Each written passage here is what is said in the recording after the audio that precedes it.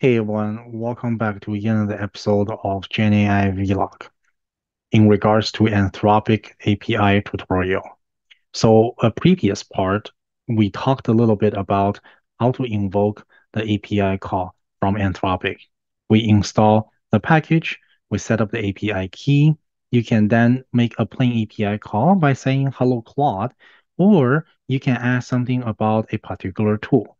So then we discussed that in order to use the tool to get the answer back from the tool, this is the body of the message that it needs to be, right? Here, the user asks a question and then the chatbot actually responded, I need to use a tool.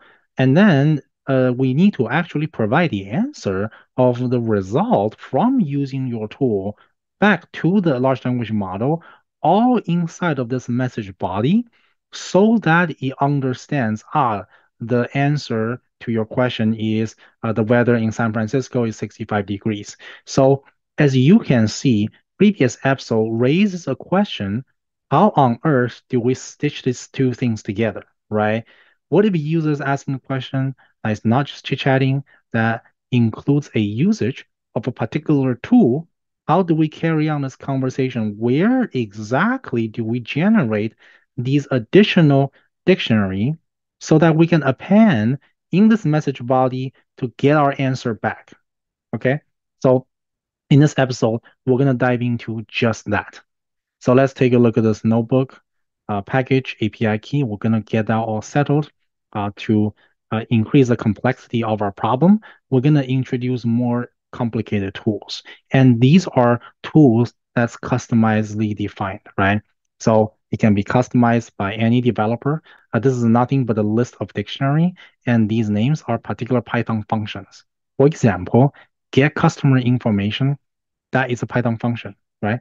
It is defined down here. The customer information perhaps is retrieved from uh, this is small database here. I'm defining the small database as just a dictionary object inside of this function. Uh, but in reality, you can think about this as an API call, right? To DynamoDB table or Cosmos DB table, something like that.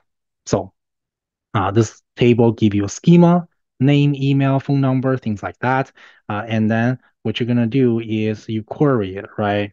Dot get custom ID, and then ID is uh, whatever input argument that uh, getting tossed in in this function, uh, and then it's going to retrieve a piece of information from this database.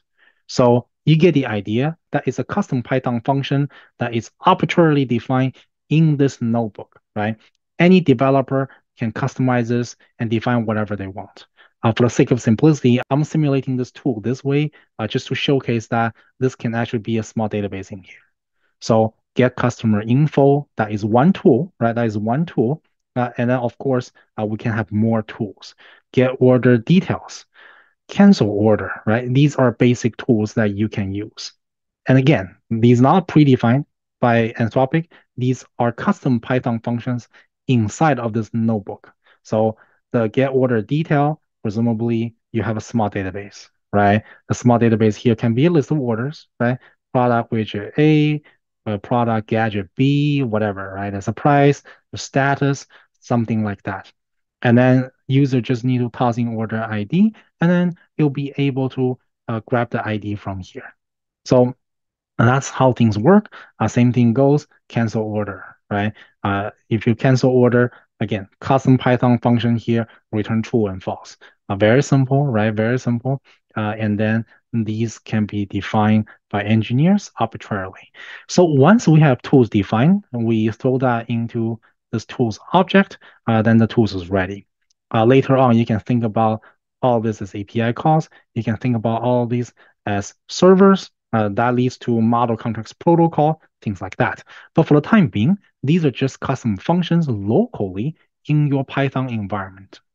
So once we have the Python functions uh, that is just sitting here, uh, then we got a process, right? So process means there need to be a helper function here called process tool calling.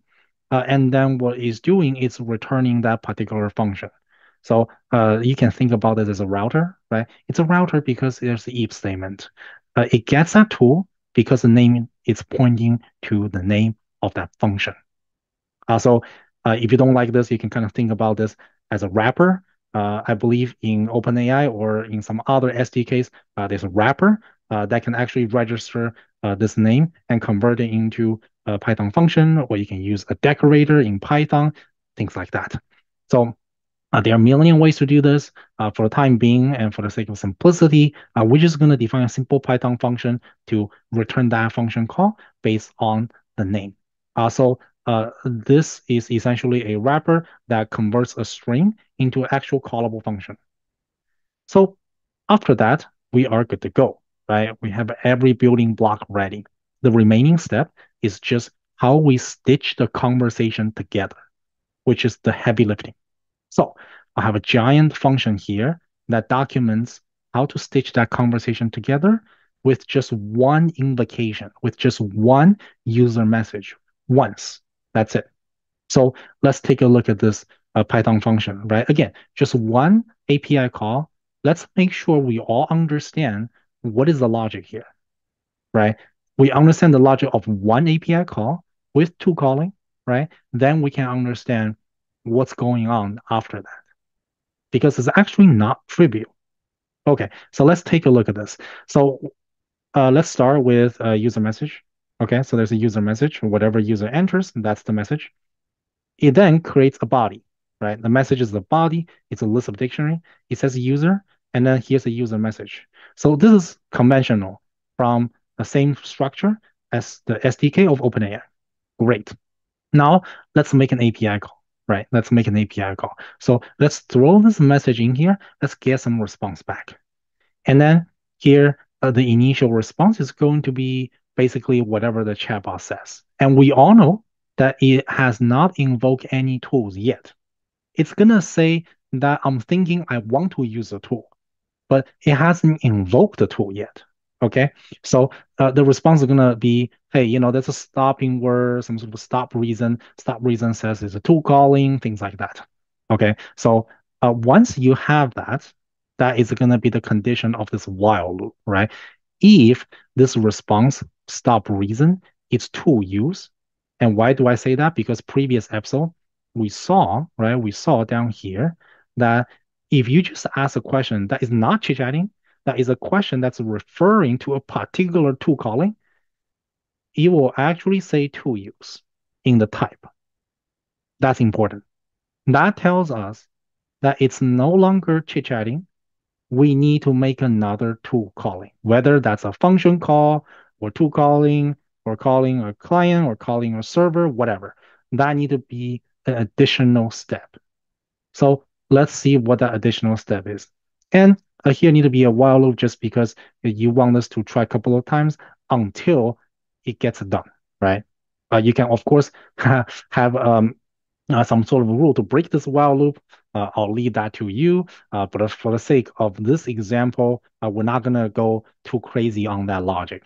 For the sake of this example, we know already uh, that user is going to ask something about one of these tools, right? Get customer, get order, cancel order, things like that. Uh, then we know there's going to be a tool use somewhere here. So that's the while loop. So what's happening, right? We go into the content, we look for tool use. It's going to give us a name, give us the input, and that information tells us what tool to use. So once we have that information, dump it out in a JSON. So this allows us to debug, okay? Uh, but of course, we gotta turn it into an actual function, right? So process tool call is going to take this tool name, which is a string, um, and then the tool input, which is the information required by that function call, right?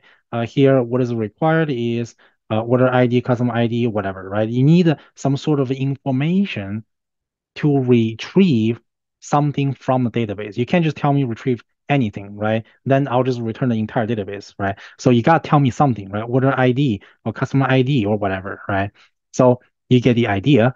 In that case, uh, that is going to be inside of uh, this information uh, to input. So uh, we have all that, right? We have all that. Now the process tool call is going to return us a function, this is the process tool call function we talked about before. It's going to return an actual Python function. So once this return a function, we know this tool result is going to be that function with the input. So in other words, whatever this is returned, it's going to be the result, right? It's going to be the result. Why? Because whenever we return this function, we're not just returning a plain function, we're returning a callable function that this thing, uh, we pass the input argument in there, right? Customer ID, if you're getting customer info, order ID, if you're getting order detail, uh, and the same goes with cancel order. Uh, so we're actually going to run this function, right? It's callable at the moment, and it's going to return something back, which is the result of uh, this function call. So the function call happens on line 30. And whatever the result back, let's print it out as a tool result. And that allows us to debug easily. So now you get the idea, right? Now we have made the tool calling. We have the result. Let's append the result back to the message body. So let's go back to the previous Colab and let's take a look at the message body. Uh, remember that in the message body, we have the giant monster here, right? Uh, user asks a question. It says, hey, I think I need to use a tool. And then there's something happened in between these two dictionary that's not telling us yet, right? Before line 44 and line 45, there's an intermediary step here, right? Otherwise, how do you know 65 degrees, right? How do you know that? Well, you know that because in between line 44 and line 45, you have run the tool. You have called the function. And that is what's happening here for line 30. So the functionality of line 30 should be between line 44 and line 45 in this previous notebook. So once you get the result, you can then append it back to the body, right? So that's exactly what we're doing here. We're saying, hey, look, assistant says something. Uh, it's gonna say that I think I want to use this tool, and then we have the tool result. Well, let's get it back, right? Let's get it back.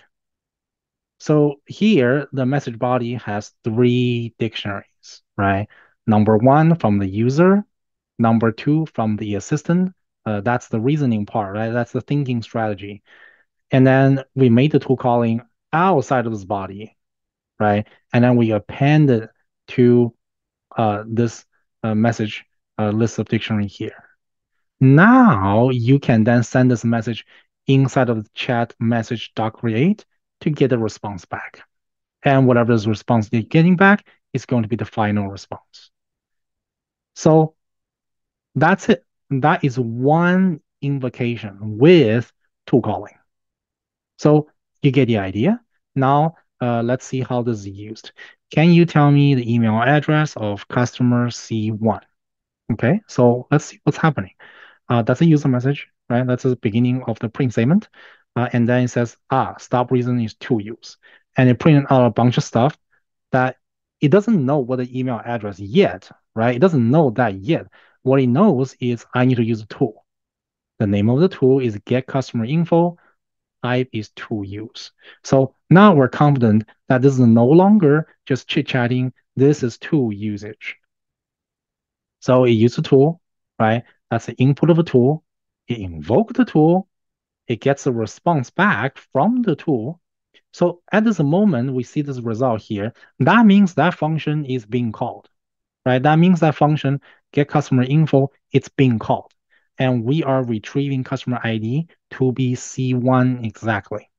So what is our database? Let's go up to our small database here in get customer info. C1 is John Doe, right? Email is johnexample.com phone number is this one. So it got it, right? It got it.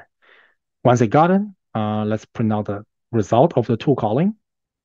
So we're confident that it indeed made an API call, right? Otherwise, how would Anthropic know that this is the customer information? There's absolutely no reason that Anthropic will drop billions of dollars to fine tune their language model to uh, remember this crap right? There's no reason they would do that. This has to come from tool calling, and this is the logic that they do it. Once we have this result, what do we do? We then toss it back to the LLM, and then uh, we get the response back. And we know that we got it because here the stop reason says end turn. So we know that, aha, we have the information. Let's stop the thinking process, right? Whatever we're doing here, I'll retrieve customer info or customer C1, blah, blah, blah. Whatever this is going on here, let's stop, right? We got the tool, let's stop. And then uh, the email address for customer C1 is whatever, right? Uh, and then the type is text. Done.